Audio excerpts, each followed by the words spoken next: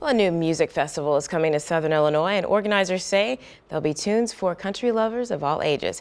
Well, Brooke Slyer joins us in studio now with the details. Yeah, good morning, Evie. That's right. The Dunbar Music Festival will take place at the Marion Pavilion March 10th through the 12th.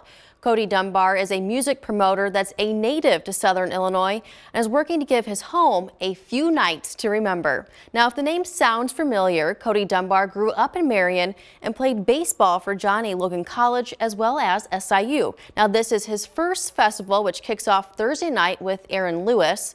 On Friday, Mitchell Tenpenny and special guest Jacob Bryant will also take the stage. Then the event will conclude with Parmalee and Lanco.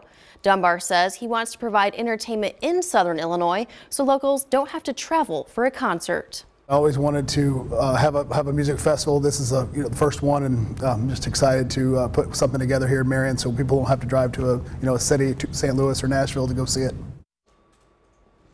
Dunbar adds so far he's had a lot of support from residents who say they're excited for this upcoming event.